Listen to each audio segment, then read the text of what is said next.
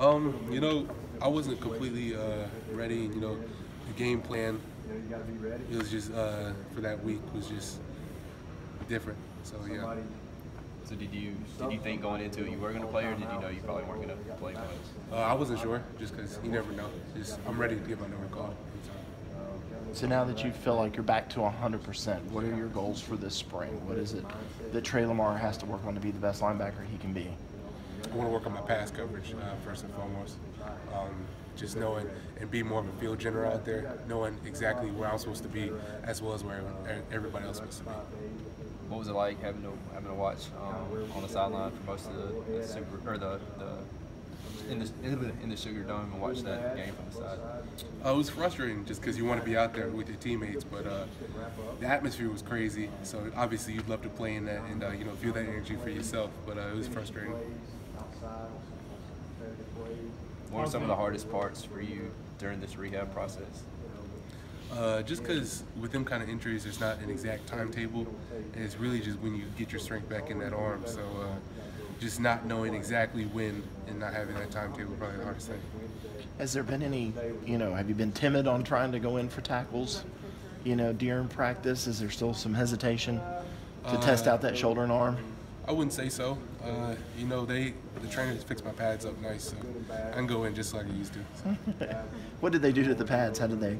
Uh, they're a little raised on the shoulder pads, so you know, uh, just on impact, I'm not gonna have that same uh, effect on my shoulder for a linebacker who depends on those defensive tackles in front of you, what yeah. was it like to get the word that, you know, Christian's coming back, Clelin's coming back, Austin's coming back, and you'll have Dexter there?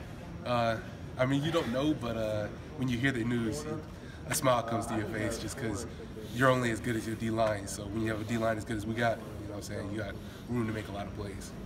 What percentage were you at the last at the end of last year? Like when the season ended, where would you say you probably were? I couldn't say right now. I couldn't really tell you. You feel like you were close to being 100% or? I really couldn't tell you. What have you seen out of those defensive linemen in the spring? Any let up on those guys? No, not at all. Uh, they came back hungry. You know, they didn't just come back to kind of go through the motions for the last year. They're hungry. They want to get that championship for this last year, and it shows on the field. How do they make your job easier? Uh, when you got guys like Dexter, Christian, who can take up double teams like that and leave you free in your gap, um, it makes a world of difference for a linebacker. What are you seeing out of some of these younger linebackers? Shaq Smith really hadn't earned a lot of playing time yet. What are you seeing out of him so far? Uh, Shaq's been playing real good. Uh, he's starting to get more and more comfortable out there, and it's starting to show just how he's making calls, making plays nowadays that he wouldn't have made as a freshman. You see him making now. Mike Jones, the, the freshman, is he still little, little swimming a little bit so far? I mean, uh, in reality, uh, just because I came as a mid-year too, you're basically a high school out there going with uh, dudes who've been in college three, four years. Yeah. So there's always a, a transfer period that you got to get through. But I think he's doing a great job so far.